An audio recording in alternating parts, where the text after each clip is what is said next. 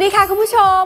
บทเรนูสะพ้ยใหญ่แห่งบ้านแบ้ไม่ใช่แสดงกันง่าย ๆ แต่นางเอกเบลล่ารานีถ่ายทอดได้คมกริบ ได้รับคำชมทั่วโลกโซเชียล รวมทั้งพระเอกคู่ขวัญอย่างหนุ่มโป๊บธนวัฒน์ที่เป็นแฟนละครกรงกรรมด้วยค่ะ ระเอกคู่ขวัญป๊อบธนวัฒน์ก็เกาะติดละครสุดฮิตกรงกรรม ยิ่งดูยิ่งได้ข้อคิดเรื่องกรรม เข้าทางพระเอกสายธรรมสุดๆ พอได้เจอกันที่กองละครร้อยเล่ห์มารยา เลยขอชมสาวเบลซึ่งซึ่งหน้า ให้เขินกันไปเลยค่ะ